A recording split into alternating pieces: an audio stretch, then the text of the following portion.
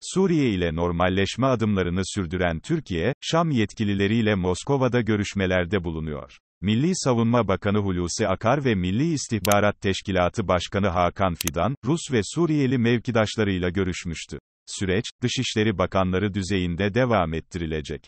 Sonrasında ise bu ülkelerin liderlerinin bir araya gelmesi bekleniyor. ABD merkezli Bloomberg, Ankara'nın Şam ile yeni ortaklığının Rusya'nın Orta Doğu'daki rolünü güçlendireceğini ve Amerika'nın Suriye'den çekilmesi üzerinde baskı oluşturacağını yazdı. Yapılan analizde, Amerika'nın oradaki varlığının gereksiz ve haksız olduğunu anlaması gerekiyor. Bugün bölge ülkeleri, giderek Amerika'dan bağımsız hareket ediyor denildi.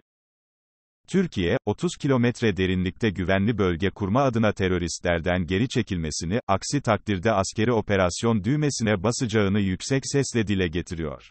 ABD merkezli medya kuruluşunun haberinde, Esad ile siyasi bir anlaşma, Erdoğan'ın askeri operasyon riskine girmeden YPG terör örgütüne karşı zafer kazanmasına yardımcı olabilir ifadesi kullanıldı.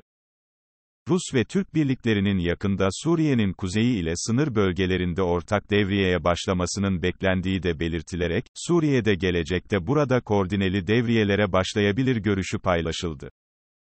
Cumhurbaşkanı Recep Tayyip Erdoğan, geçtiğimiz günlerde yaptığı açıklamada, Sayın Putin ile görüşmem oldu. Dışişleri bakanlarımızı bir araya getireceğiz. Daha sonra da gelişmelere göre liderler olarak bir araya geleceğiz. Derdimiz suhuleti bölgedeki sükuneti sağlamak, barışı egemen kılmak demişti. Söz konusu analizde, Erdoğan, Rusya'dan çatışmalar hafifledikçe evlerine dönebilecek Suriyeli mültecilerin güvenliğini sağlamasını istedi, ayrıntısına da dikkat çekildi. Türkiye, Rusya ve Suriye Dışişleri Bakanlarının görüşmek üzere bu ay bir araya gelmelerinin beklendiği kaydedildi. Diğer yandan Türkiye'nin Türk devletleriyle ilişkileri, Rusya ile yapılan gaz anlaşmaları Yunanistan'ı korkuturken, Yunan medyası Türkiye'nin başarısını değerlendirdi. Yunan Pentapostagma gazetesinde yer alan makalede, son yıllarda ve özellikle 2016'dan sonra Türkiye'nin dış politikasında doğuya doğru bir kayma olduğu, Çin ve özellikle Rusya ile ilişkilerini büyük ölçüde geliştirdiğinin gözlemlendiği belirtildi.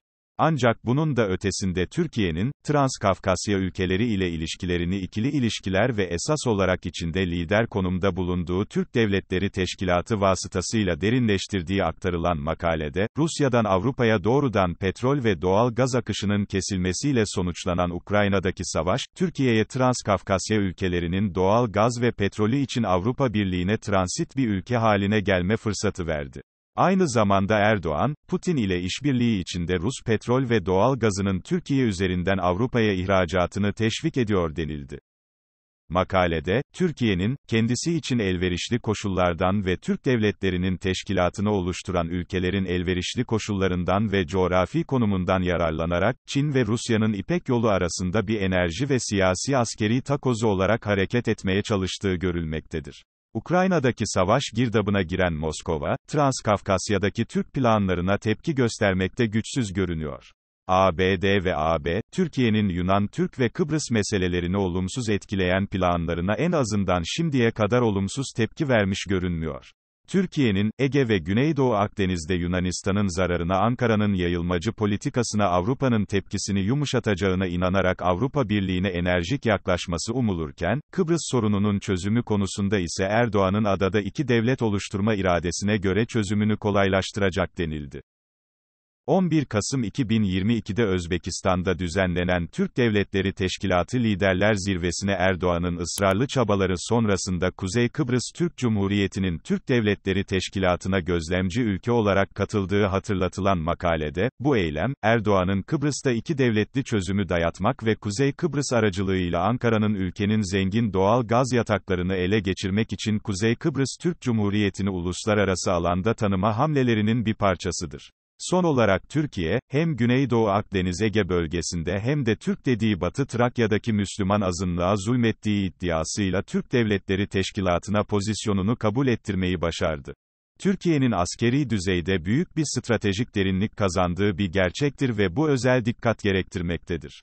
Önde gelen bir ülke, söz konusu hükmün yer aldığı Şusa Deklarasyonu'na imza attığı Azerbaycan'dır. Ayrıca Türk askeri sanayisi, teşkilat üyesi birçok ülkeyi ürünlerinin potansiyel alıcısı olarak bulmuştur denildi. Öte yandan İran'ın inşa ettiği silahlı insansız hava aracı gemisi görüntülendi. Defans Türk'te yer alan haberde, devrim muhafızları için inşa edilmekte olan insansız hava aracı gemisinin 2023'te denize indirilmesinin beklendiği ifade edildi. Basra Körfezi'nin girişine yakın bir kuru havuzda inşasına devam edilen gemi, büyük bir konteyner gemisinin gövdesi üzerinden geliştiriliyor. İran bu gemide hem helikopter hem de sabit kanatlı insansız hava araçlarını kullanmak istiyor. İran 240 metre uzunluğunda olan geminin ana gövdesinin sol yanına ek bir çıkıntı yerleştirerek gemide bulunacak olan pisti uzatabilmeyi amaçlıyor. Büyük bir konteyner gemisi olan Perarin üzerinden geliştirilen drone gemisi 2000 yılında inşa edilmiş ve İran bayrağı altında işletilmiştir. Gemi 240,2 metre toplam uzunluğa ve 32,2 metre genişliğe sahiptir. Daha önce de İran, eski bir sivil tanker gemisini üzerinde değişiklikler yaparak yeni bir savaş gemisi olarak donanmasında hizmete almıştı. Sivil platformlar üzerinde değişiklikler yaparak askeri gemiye çevirmek maliyet anlamında çok uyguna gelebilir ancak bu, platformun güvenilirliği ve işlevselliği konusunda ciddi soru işaretleri barındıracaktır. Diğer yandan Sakarya'da bulunan tank palet fabrikasında Altay tankının seri üretim başlangıcı için tören düzenlenecek. Söz Sakarya adlı haber sitesi tarafından iddia edilen bilgilere göre Cumhurbaşkanı Recep Tayyip Erdoğan, 9 Ocak pazartesi günü tank palet fabrikasını ziyaret edecek ve Altay tankının seri üretim törenine katılacak.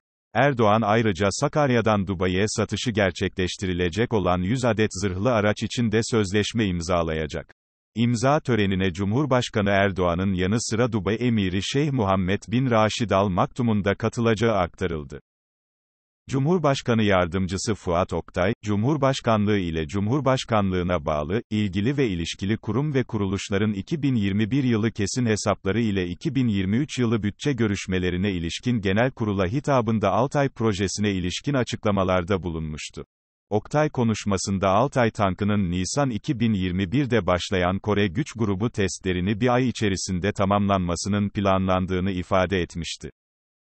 Oktay ayrıca pilot tankların üretimlerinin ve atışlı testlerinin 2023 yılı içerisinde tamamlanacağını açıklamıştı. Çeşitli ambargolarla sürecin uzamasına dikkat çeken Oktay bu süreçte yerlileştirme faaliyetlerinin devam ettiğini aktarmıştı. Oktay konuşmasında Altay projesi dönem eksi bir kapsamında yerlileştirme çalışmalarının yapıldığını ve Mayıs 2023'e kadar tüm yerlileştirme çalışmalarının tamamlanacağını ifade etmişti.